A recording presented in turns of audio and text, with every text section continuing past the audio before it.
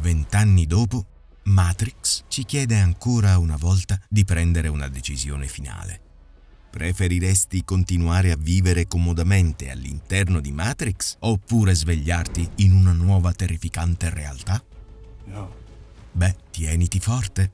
Questo computer ora controlla la tua vita fino all'ultimo dettaglio.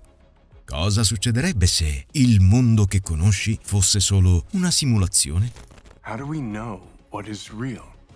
Potresti fare affidamento sui tuoi sensi? Riusciresti a trovare delle anomalie nel programma? E se questa fosse davvero una simulazione, chi è a capo del programma?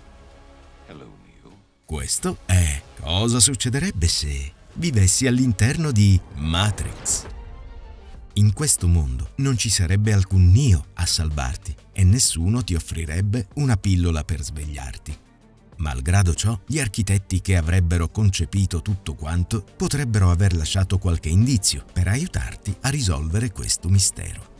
Potresti non essere tu il prescelto, ma se ti affidassi al tuo ingegno e al tuo istinto, forse saresti in grado di superare in astuzia questo supercomputer onnisciente.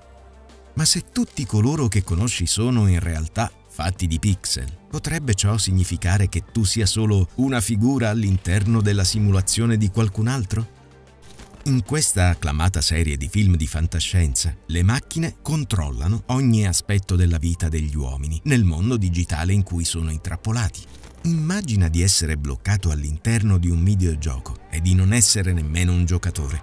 Questa, amici miei, è la teoria della simulazione la teoria della simulazione afferma che tutto ciò che abbiamo e che sperimentiamo siano il risultato di un programma informatico altamente avanzato e che tutti i sensi e le nostre percezioni non siano altro che esperienze digitali ideate per simulare la vita reale. È ancora più terrificante il fatto che alcuni scienziati abbiano suggerito che esista un 50% di possibilità che noi tutti stessimo davvero vivendo in una simulazione in questo momento.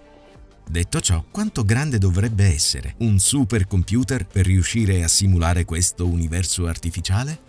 Torneremo su questo punto più tardi. Adesso dobbiamo prima stabilire se questo mondo sia reale o meno. Allora, cominciamo col dire che questo mondo digitale non sarebbe perfetto. Per primo, richiederebbe degli aggiornamenti di tanto in tanto. Durante questi potresti essere in grado di notare dei cambiamenti nel mondo naturale che non avrebbero senso in circostanze diverse. Potresti per esempio testare la velocità della luce. Ma come lo faresti?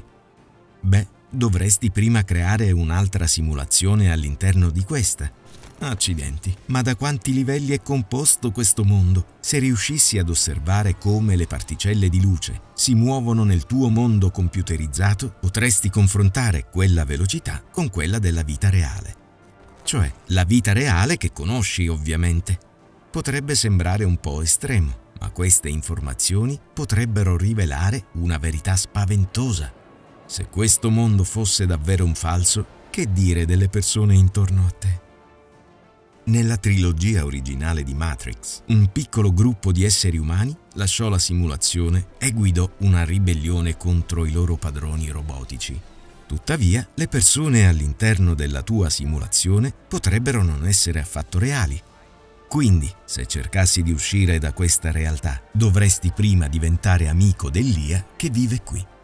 Iniziare profondi discorsi sulla natura della realtà con questi esseri simulati potrebbe portarli a riflettere sulla propria coscienza e su cosa significhi essere reali. Farsi un amico virtuale potrebbe essere la tua migliore opzione di fuga. Tornando alla serie, qui i corpi umani venivano tenuti in vita in masche piene di un liquido viscoso, con tubi che uscivano dalle loro gole, il tutto per alimentare il Matrix.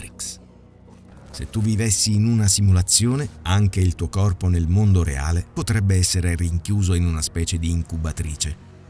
Ma se i tuoi nuovi amici artificiali trovassero un modo per trasferire la tua coscienza all'interno di una macchina, potresti allora iniziare una nuova vita come robot.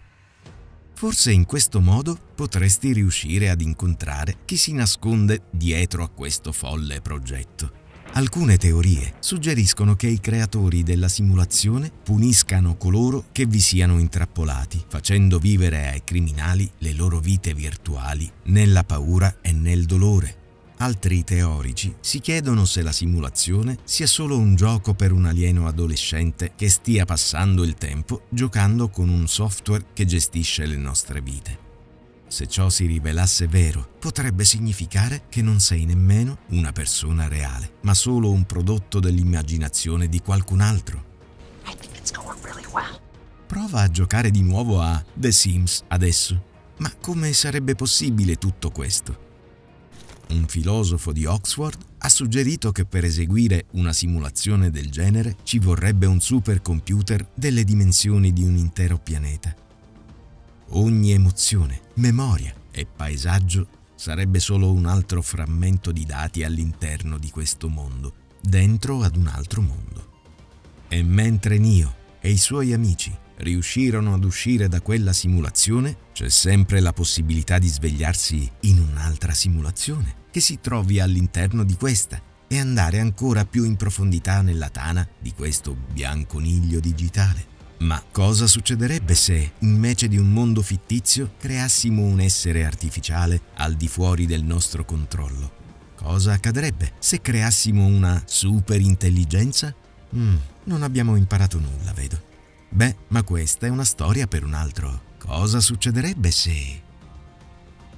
Ehi, se ti è piaciuto questo episodio, clicca mi piace e non dimenticare di iscriverti al canale per rimanere aggiornato e per non perderti il meglio di Cosa succederebbe se...